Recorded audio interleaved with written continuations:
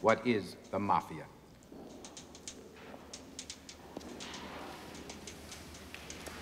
Three men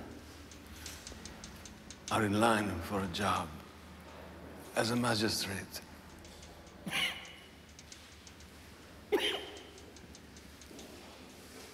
One smart and hardworking.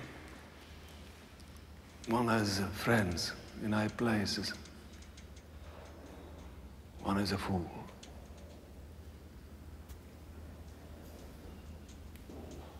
The fool gets the job.